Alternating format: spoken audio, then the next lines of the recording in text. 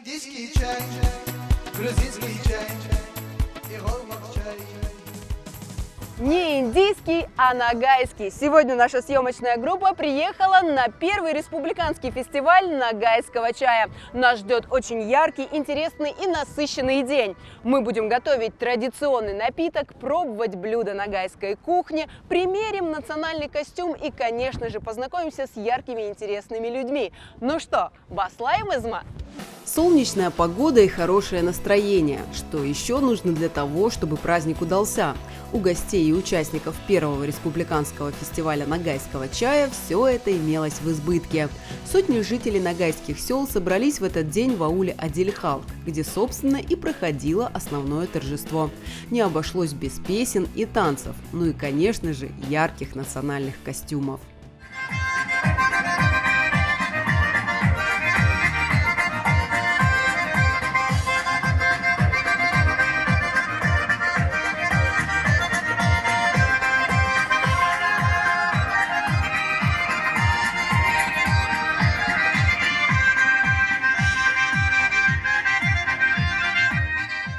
Мадина, ты снимать собираешься? Слушай, ну дай перекусить, а то все работаю, работаю. Надо же сначала попробовать, правильно? Прежде чем проходить мастер-класс. Хочешь, кстати?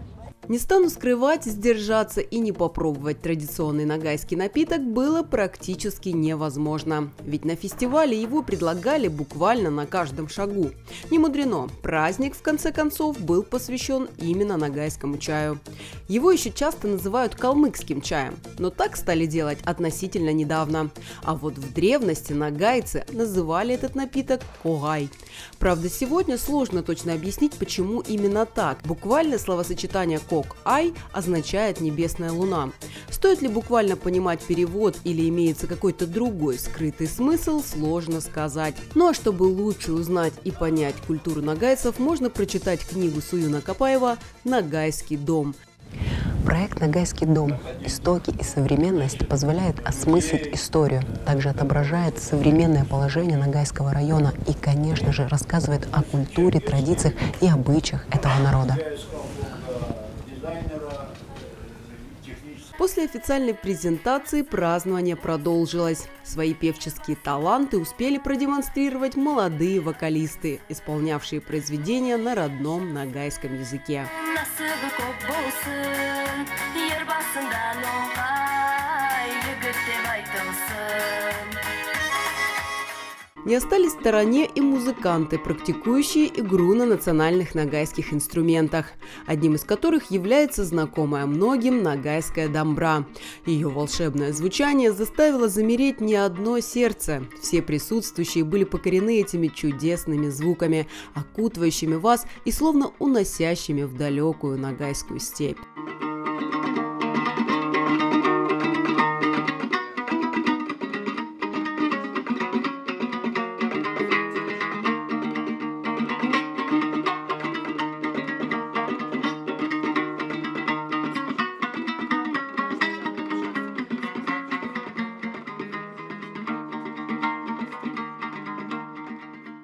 После такого чудесного выступления мне безудержно захотелось научиться играть на домбре. И понятное дело, для этого мне нужен был человек, способный дать мне хотя бы пару основных советов. Все мы с вами слышали, как прекрасно и волшебно звучит нагайская домбра. И я не могла упустить возможности, чтобы не взять небольшой мастер-класс э, у человека, который знает об этом музыкальном инструменте все. Сегодня со мной присутствует мастер изготовления нагайской домбры Родион Наджев. Привет, Родион. Приветствую. Э, Я вот хочу сегодня, э, скажем так, э, хотя бы пару приемов игры на домбре узнать. Ты мне в этом поможешь, я надеюсь? Ну, в первую очередь, конечно, надо сесть правильно. Это обязательно нога на ногу. Мужская посадка, она чуть-чуть такая э, серьезная. Ну, вообще, да. Вообще, фактически, по-моему, и женская посадка такая там, по-моему, ну, чтобы более немножко упростить, чтобы, да, вот так вот. Просто ногу на ногу, домбра сидит на ноге, чуть-чуть локтем мы придерживаем, да, вот. И, то есть, домбра, она свободно вот здесь вот сидит. Чтобы она никуда не уходила, вот мы сидим, и работает в основном только кисть. Ну, из одна из самых таких простейших, так сказать, упражнений. Мы зажимаем второй лад, первую струну на втором ладу и ближе э, к этому ладу, потому что если мы чуть-чуть с этого края зажимаем, он немножко звенит. Ну, это особенность э, инструмента из-за того, что лады сделаны из лески, там, ну, свои, короче, есть Нюансы, да? нюансы, да. Ну, расслабленный, да, вот в таком положении расслабленный.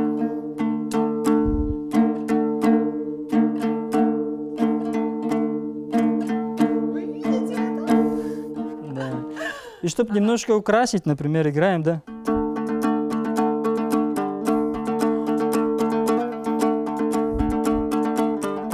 Ну что, дорогие телезрители, вы готовы к первому сольному концерту Мадины Лайпановой на Нагайской Домбре? Я думаю, готовы. Итак, начинаем. Рок-н-ролл!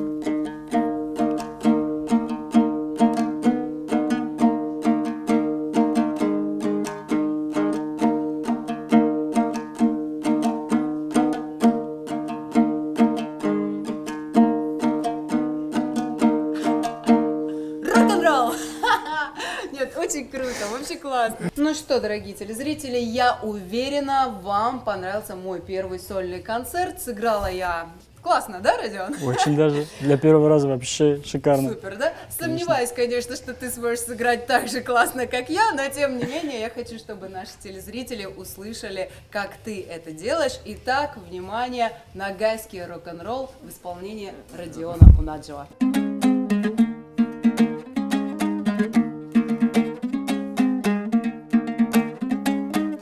fark oldun. Аясынан қарсы соғып болмайды деп атайлар айтқаны. Қайда ауада ауада ауада қайда ауада ауада ауада.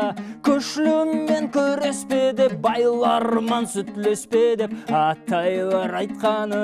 Қайда ауада ауада ауада қайда ауада ауада ауада. Хей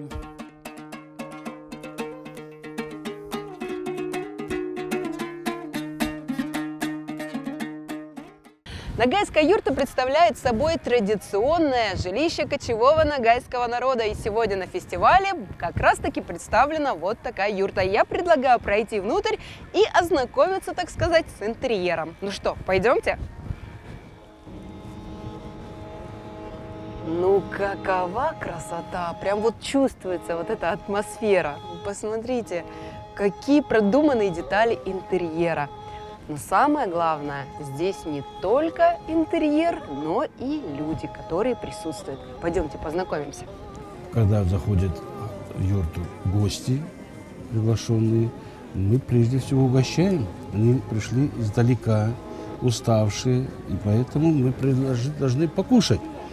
Второе, у каждого в семье свое место, как у главы семьи свое место, у жены, у детей, у гостей. Поэтому правая сторона, когда сидит мужчина, эти атрибуты предназначены мужской стороны. Это сабля, меч, домбра, лук, стрелы, форма одежды и так далее. То же самое с женской стороны соблюдаем необходимое. Ну, юрта, она сама предназначена, она сохраняет семью от ветра, дождя, холода и прочего. Это у нас еще современный вариант, а на самом деле там тепло, потому что здесь готовят, убирают, живут. Наряду с традиционной юртой и чаем неотъемлемой частью культуры нагайского народа является нагайский национальный костюм, один из которых мне выпала честь примерить. Эх, такой красивый костюм себе присмотрела. Жалко некому рассказать мне о том, что означают эти орнаменты, как создается а, вот такой вот национальный костюм. Ну что поделать, придется гуглить. Тем не менее, Посмотрите, такую красоту примерила. Ну, просто супер. Стоило приехать хотя бы ради этого. Несмотря на то, что мне никто особо не рассказал про национальное одеяние, костюм мне очень даже понравился. Еще бы, он на секундочку ручной работы. Причем сразу видно, что шит он с большой любовью и умением. А в этом деле это наверняка имеет большое значение.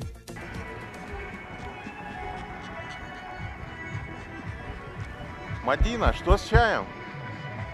Что-что? Чай закончился. Да-да, именно так и было. Пока я там на домбре играла, да костюмы примеряла, оказалось, что мой мастер-класс по приготовлению настоящего нагайского чая отменили по техническим причинам. Но знаете что? Погоревав совсем немного, я поняла – Несмотря на то, что узнать секреты приготовления настоящего нагайского чая мне сегодня так и не удалось, этот день запомнился для меня веселым и интересным. Надеюсь, что и вам, нашим телезрителям, понравился первый телевизионный фестиваль нагайского чая, организованный при поддержке ГТРК Карачаева-Черкесия. Ну а я с вами прощаюсь и желаю вам всего хорошего. Еш халын пан, халын